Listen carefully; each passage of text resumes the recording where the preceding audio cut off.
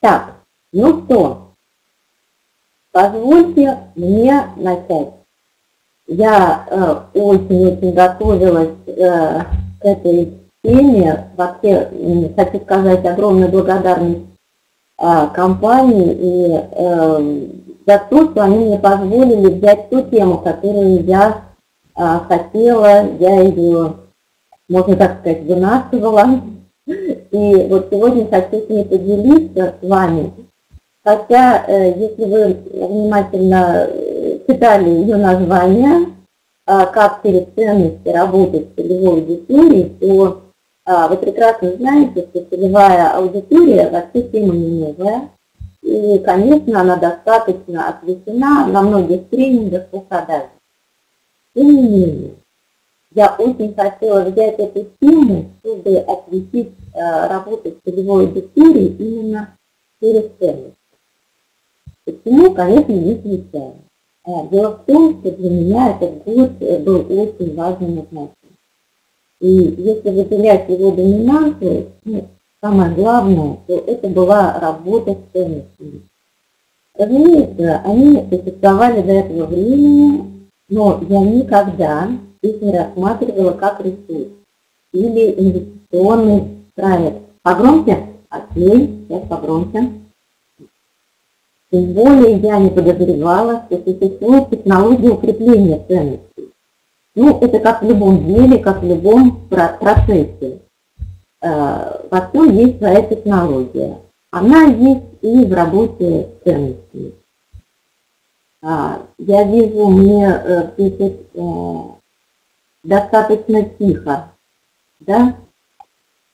Тихо, у вас настройки на максимум, плохо слышно. Так, сейчас, сейчас мне поможет мой помощник. Славочка, давай что-нибудь погромче сделаем. Так, ну давайте все попробуем. Я продолжу свою речь, продолжу разговор. А как меня сейчас слышно, скажите, пожалуйста, звук нормальный? Нормальный, да? Ну, у кого-то нормальный, у кого-то не очень. Ага. Слава хороший звук. Угу. Ну вот я так поняла, у кого нормальный компьютер, то все пишут мне плюсики. Проверьте, пожалуйста, свои компьютеры, настройте, максимально ли у вас выстроен звук. Он появился, вот Ира пишет. Окей. Так, я отодвинулась, я достаточно громко говорю. Все, друзья, продолжаем. Итак, мы говорили, что я говорила, что а, как в любом а, проекте, как в любой вообще, в любом деле существует своя технология. И она есть, эта технология в работе с ценностью. А, После тщательной проработки и укрепления своих ценностей я стала ощущать э, свои базовые ценности как базовые счета, в которых можно снять часть ресурсов и вложить их в новые проекты. И, э, давайте начнем. Просмотр слайдов вам будет, может быть, немножко понятно понятнее, скажем так.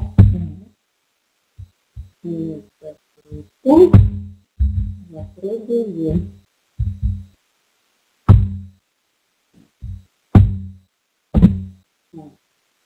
Слайд пока у меня не появляется. А появляется ли у вас слайд? Ага, появился.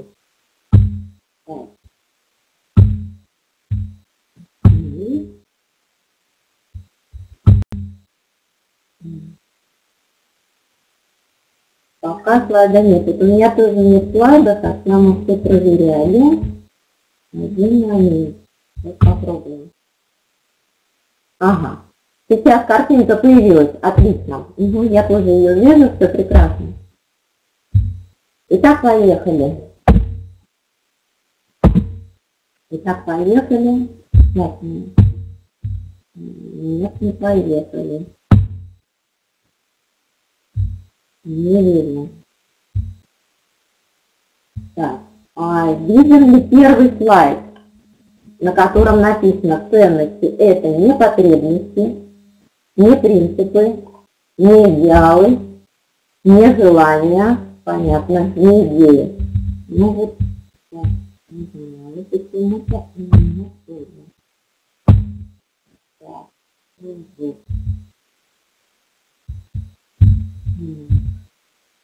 Пробел. Я делаю пробел и снова пробел, и у меня ничего нет на экране. Ребята, я работаю над этим сейчас. Стрелочка, хорошо. Так, опа. Следующая, опа. Ура! Так, все, поехали. Итак, повторяю, ценности – это не потребности, это не принципы, это не идеалы, не желания, не идеи. Если человек э, живет, не зная своих ценностей, игнорирует сигналы, ориентируясь лишь на потребности, заимствованные идеалы и принципы, усвоенные с детства, рано или поздно он заходит э, в пути. Вам знакомо это чувство, когда вы стремитесь к какой-то цели, достигаете ее и не рады этому. Вы можете потратить годы жизни, свернуть горы для того, чтобы прийти к чему-то. Обнаружить по факту, что это вас не греет. Если вы руководствуетесь одним только «хочу», то рано или поздно «хотите» заканчивается.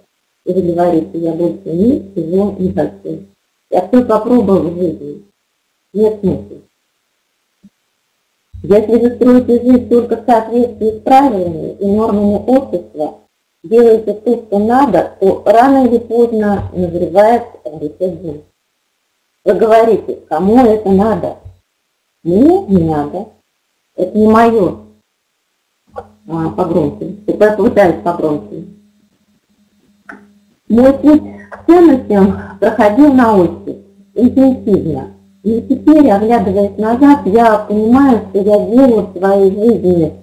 И все, что я не делала, я все это насчитывала, свои ценности, свое предназначение.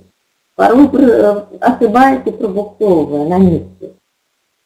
Я на самом деле получила отличное техническое образование, отдав ему 6 лет. А, закончила диплом на отлично, и э, уже догадывалась, что это не мое.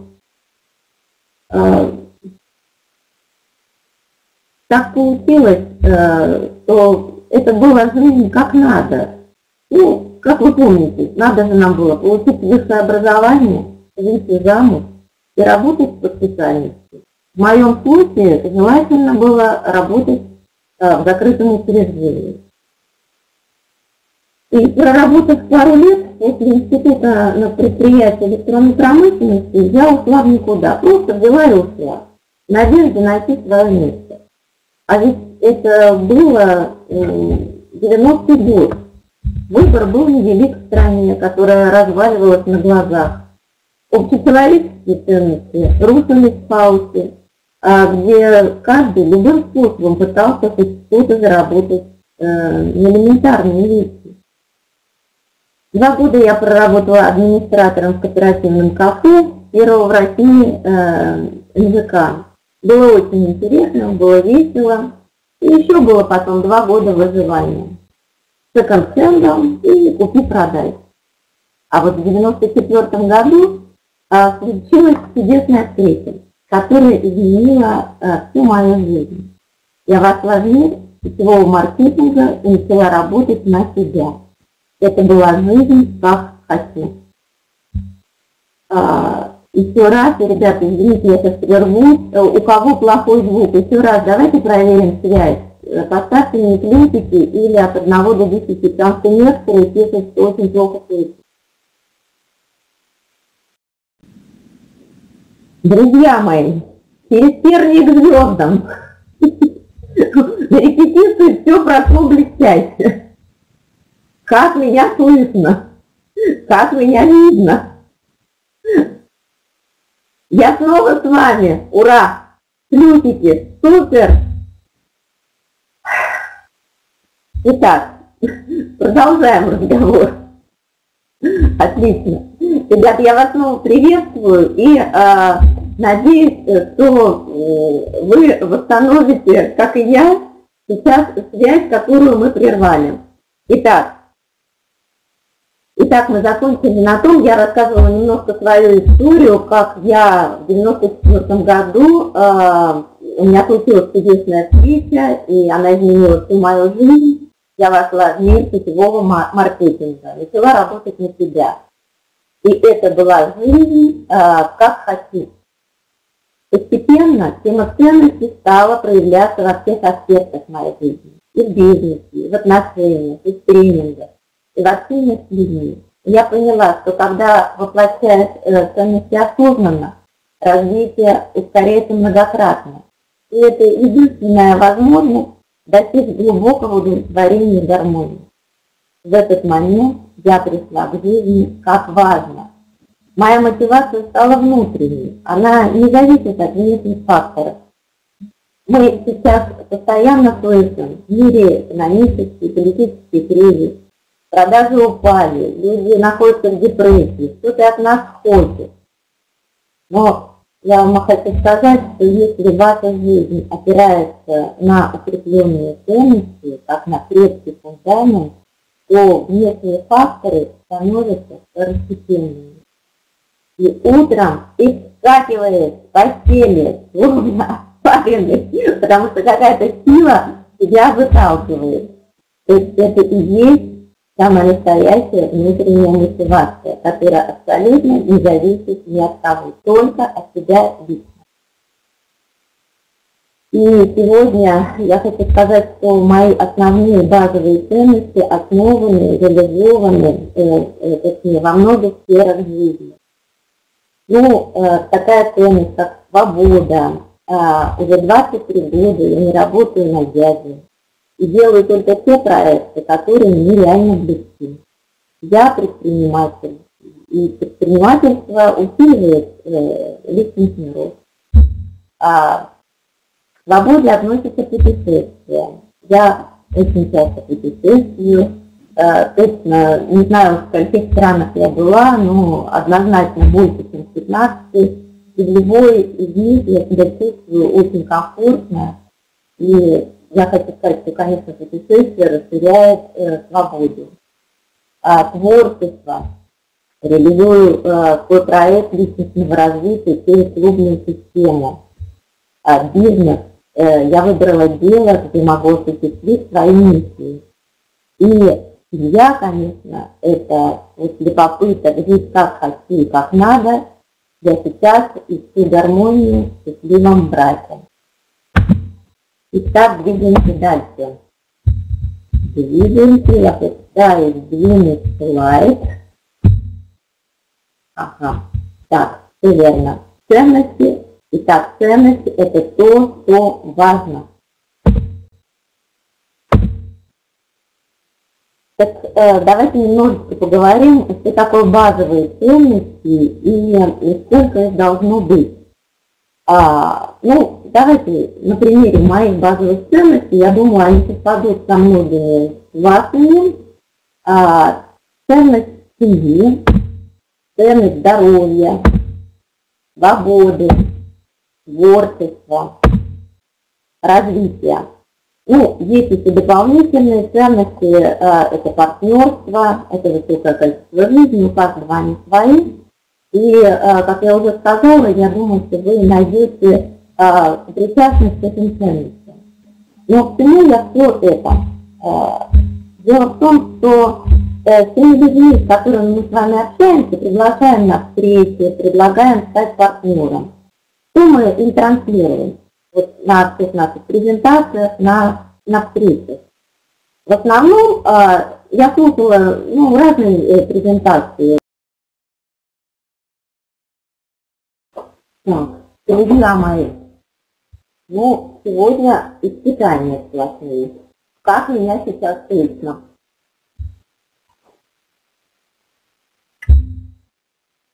Нет звука. Понятно. Так, меня кто-то слышит, нормально, да? Сейчас я попробую вернуться к слайду. Угу.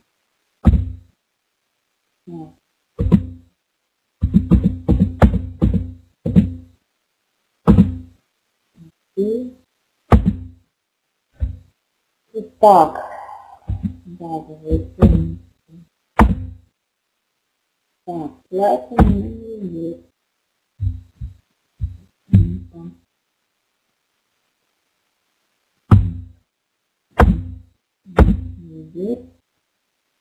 Так, меня тут я так поняла, я так считаю.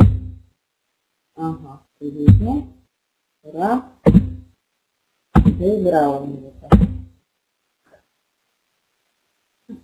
Так.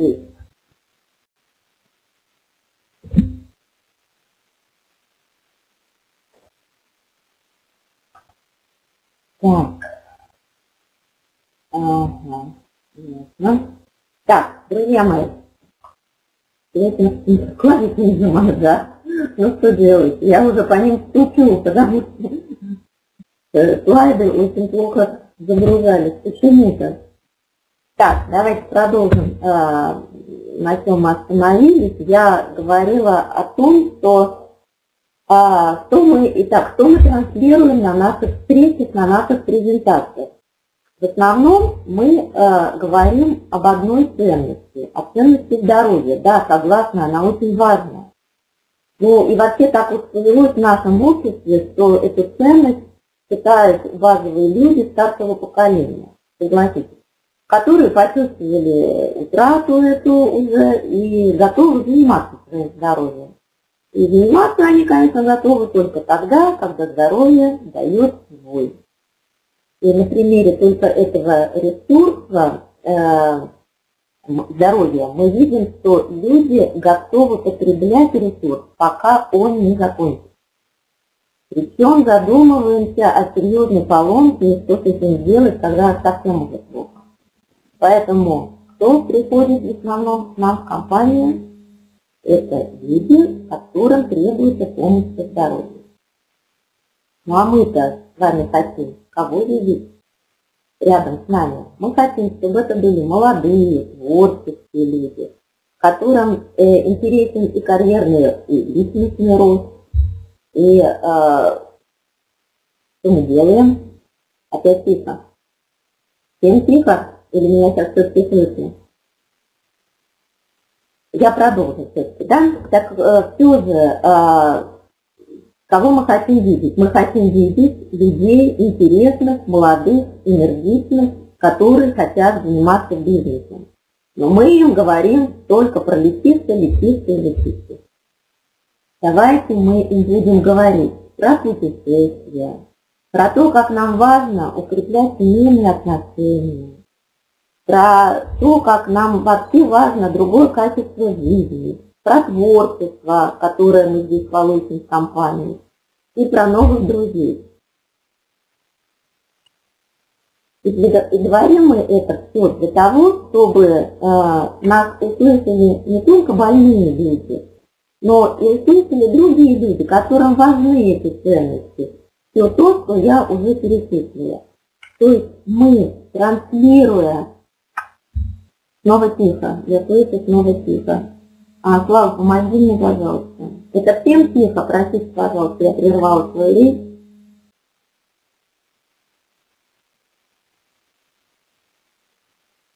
Ага. Кому-то слышно.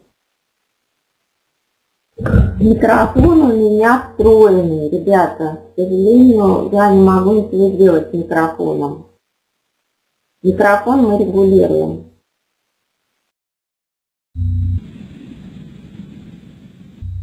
Нет, от, от положения я к экрану не приближаюсь, не удаляюсь.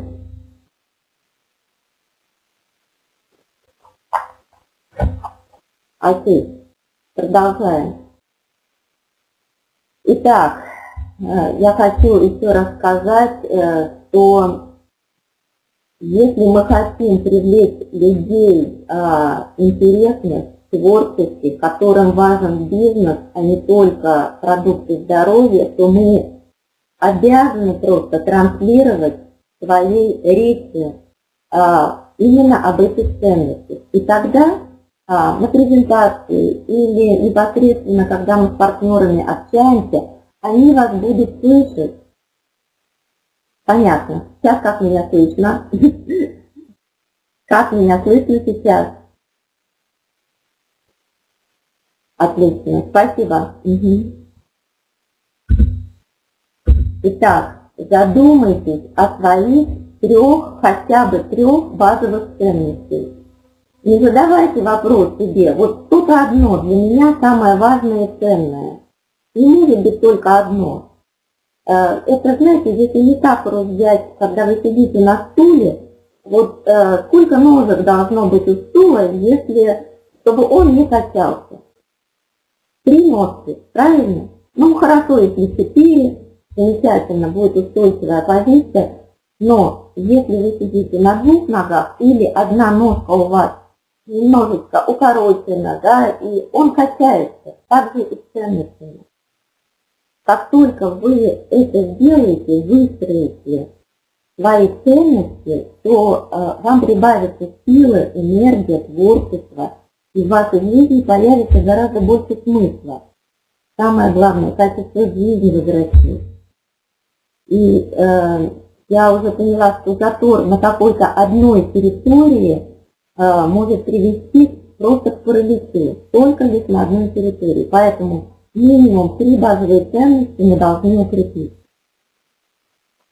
Так, э, сейчас, минуточку, я пробую слайд. Ага, отлично. Так, это то, о чем я вам сказала. На встречах важно транслировать несколько базовых ценностей.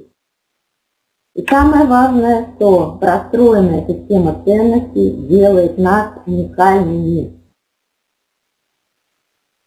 Ну что, э, я думаю, что вступление мое про ценности было достаточно. И я сейчас хочу э, перейти э, к уже непосредственной теме целевой аудитории и как ее преломлять через э, наши базовые ценности. Начнем вот с чего. Э, начнем с того, что существует четыре э, позиции восприятия. Первая. Первая позиция, э, позиция «я». «Я» – центр Вселенной.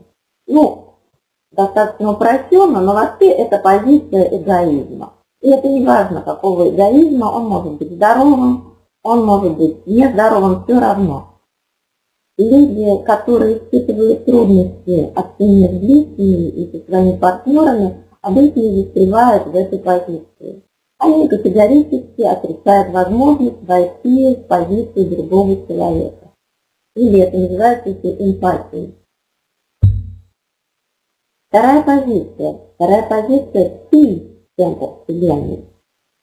А, это способность войти в положение другого человека, увидеть мир его глазами, вникнуть в его убеждения, понять его систему ценностей. Ну, на самом деле, вы, наверное, замечаете, насколько сейчас не хватает э, нам как раз вот этой вот позиции. Э, не хватает э, вообще в современном мире, между людьми, между государствами. Согласны вы со мной? И я хочу сказать, если э, чем гибче коммуникация, тем эффективнее общение.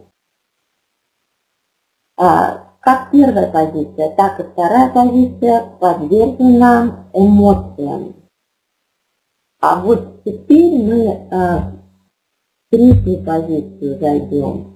Третья позиция, а, позиция наблюдателя. Скажем так, они что такое они? То есть э, представьте э, себе, что вы из своей головы вносите свои глаза снаружи и свой мозг. И как бы наблюдаете со стороны, э, со своим общением с другим человеком. То есть есть я, вы, есть другой человек.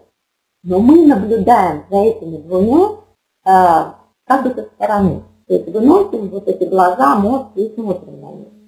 Это так называемая диктированная позиция. Она э, характерна уже для коучей, для консультантов. Эта позиция способ, способна взвешивать э, позиции обеих сторон без эмоций, без относительной эмоций. И человек в этой позиции э, способен рассудить двух, например, конфликтующих сторон, не входя в эти эмоции. Это очень важно. Он видит ситуацию как бы со стороны, не занимая ничью сторону. Это сильный шаг э, к умному решению, это уже шаг к мудрости. А на самом деле вы можете попрактиковать даже без второго а, человека. Попробуйте, когда вы идете, а, что-то делаете, попробуйте вот эти свои глаза и мозги вынести снаружи и посмотреть на себя со стороны, понаблюдайте за собой, как это видится снаружи, а не внутри. Э, так, и наконец, все это здорово, прекрасно. Э, есть еще одна позиция, она очень крутая, очень.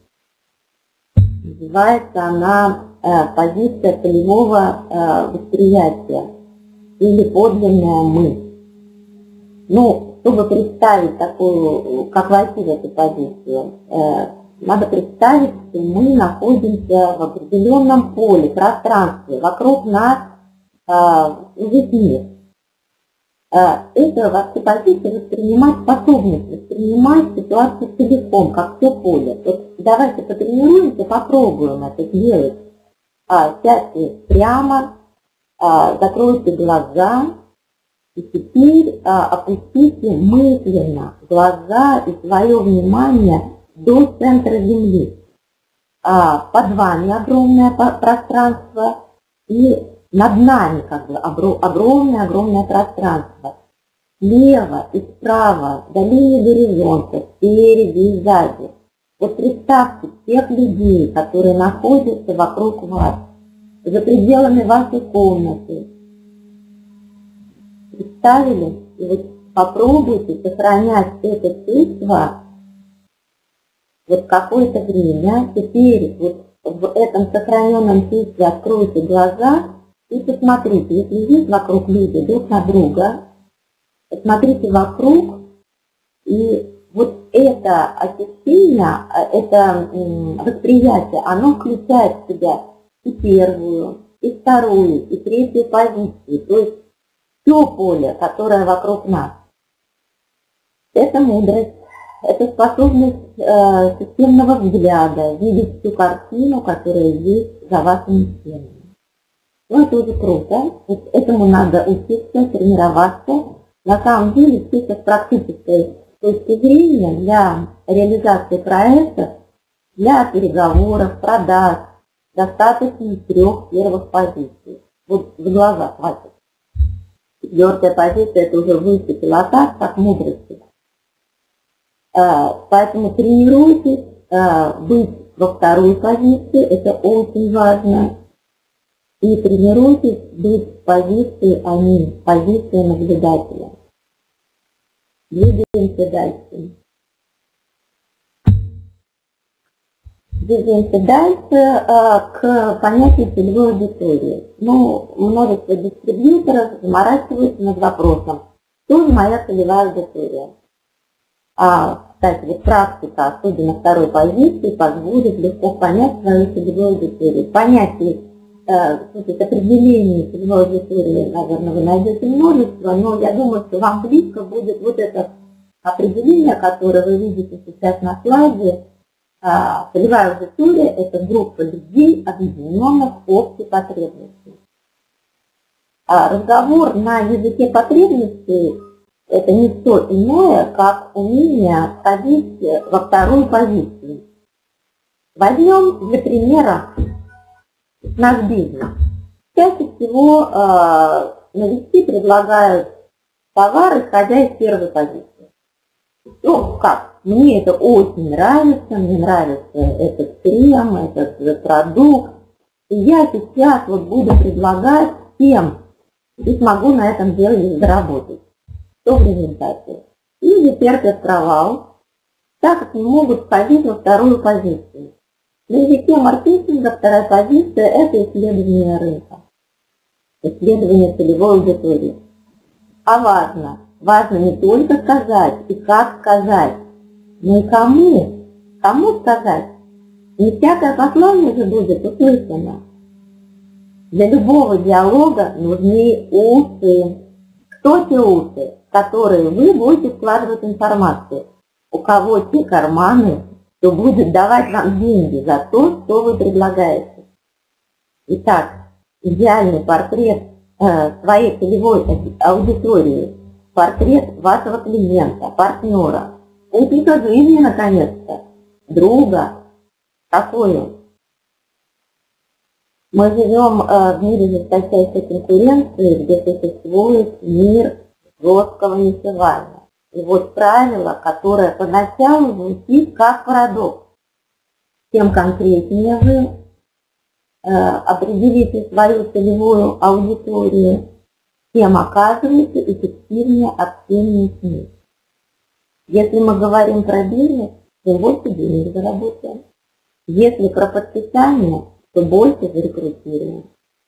И здесь важно а, не рассеивать очень широко наш прожектор, а так и не сужать его до лазера. Ну, это значит, как объясню.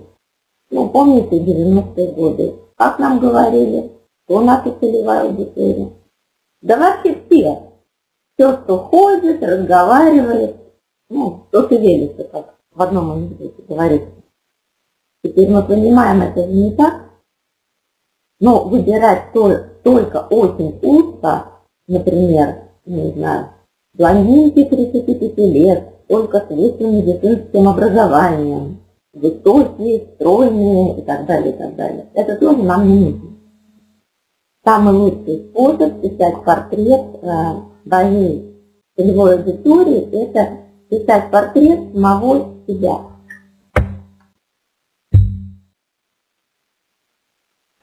И, безусловно, от выбора целевой аудитории зависит форма вашего послания, как и что говорить.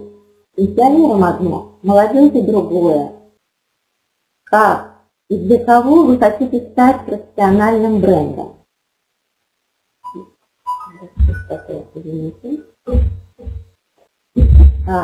итак, ну, обычно нам новичок говорит, ну, я хочу, ну, для всех, вот всем хочу, вот, чтобы я был крутой такой. Ну, для всех не получается, давайте сужать. Ну, для тех, кого интересуется йогой, для тех, кого, кто интересуется здоровым питанием. Да нет, ерунда. А все послания, которые вы обращаете к своей целевой аудитории, это ценности, пришедшие в движение. Двигаемся дальше. Итак, первый шаг. Первый шаг. Для кого я хочу стать центром притяжения? Эти люди, для кого я буду магнитом? И каковы те люди и потребности я буду удовлетворять? Это первый шаг и первый вопрос, на который вы должны дать ответ. Шаг второй. Как второй очень простой. Наконец-то начинать удовлетворять потребности целевой аудитории. Пусть сердце целевой аудитории лежит через полезность. Как вы можете быть полезны, если вы не знаете кому и в чем нуждаются эти люди? Но когда вы знаете, то у вас возникает на первом этапе доверительные отношения. Идеи это сейчас не работает. Работают потребности. Они как крючки, кормом для рыбок. Раз покормил, полезность дал. Второй раз покормил, еще раз дал полезность. А на третий крючок рыбка заглотила. Поэтому наш с вами путь – это путь от доверия к экспертности. В определенный момент вас начинают воспринимать как эксперта. Кто такой эксперт? Это человек, который а, мою жизнь может сделать лучше. В этом смысле все люди эгоисты, каждый из нас хочет свою жизнь сделать лучше. И каждый раз мы забираем, ну, например, там, у кого-то обучение, тренинг в интернете, выбираем так, чтобы вызвать максимум, максимум полезного из него. Но прежде чем выбрать, что-то, мы следим за автором. Мы читаем, мы наблюдаем его. Нам вдруг становится понятно, что ценности, которые он транслирует, они близки и вам, то есть нам вами. Мы тогда выбираем этого человека. Это так называемый доверительный маркетинг. Но он, друзья мои, возникает только тогда, когда вы очень четко понимаете свою целевую аудиторию и ее ведущие потребности, которые мы можем э, своим деловым предложением решить для этих людей. А дальше, дальше остается проложить мостик между своей целевой аудиторией и тем, что ты и твоя компания может дать. Свои навыки, свои умения, свои философии, свои ценности. А для этого нужны каналы коммуникации и стилистика послания. Есть вы, есть мир, в котором он нуждается, и которому вы говорите, ребята, я тут, я готов или готова помочь вам. Для этого вы должны появиться там, где обозначена ваша целевая аудитория. И сделать предложение на языке ее потребностей. Ну, если коротко, то вот это самое важное, что я хотела вам сказать. В конце заключения я хотела вот сказать. Поступать так, как вы на самом деле считаете важным для себя, и делать то, что вы в действительности чувствуете ценным. Говорить то, что думаете именно вы, это реально. Получать вас от мира свободу, успех, деньги, комфорт признание других людей и внутреннюю удовлетворенность. Ребята, это реально я теперь точно знаю. А почему? Потому что если вы точно знаете, в чем заключаются ваши личные базовые ценности и умеете воплощать в жизнь, то у вас все складывается отлично. Вы исходите только из своей внутренней мотивации. Сергей, сегодня такой разговор у нас немножко прерванный из-за связи получился. Скажите, пожалуйста, вы поняли о том, что я вам говорила? Дайте мне, пожалуйста, обратную связь. Может, меня вообще уже никто не слышит. Спасибо. Вижу. Ура, меня слышали. Спасибо огромное. Спасибо. Да, замечательно. Спасибо вам за обратную связь, за то, что были такие терпеливыми, э, за нашу встречу и до новых встреч, если, конечно, будет возможность еще раз перед вами выступить. Всего доброго, до свидания.